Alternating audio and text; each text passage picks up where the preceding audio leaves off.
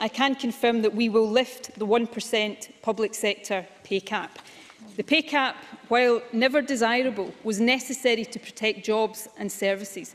However, with inflation on the rise, it is not sustainable. Our nurses, teachers, police officers and firefighters deserve a fairer deal for the future.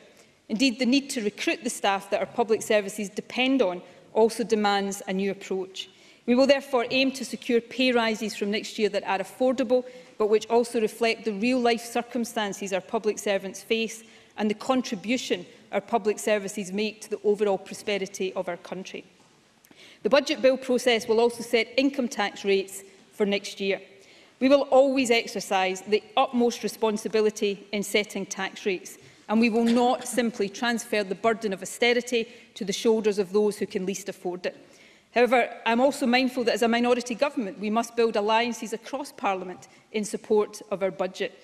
Uh, for all of us, it must be the interests of our public services, households and economy that drive our decisions.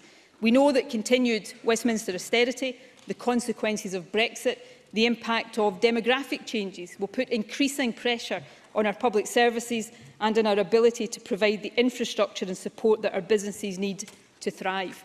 So the time is right, in my view, to open a discussion about how responsible and progressive use of our tax powers could help build the kind of country we want to be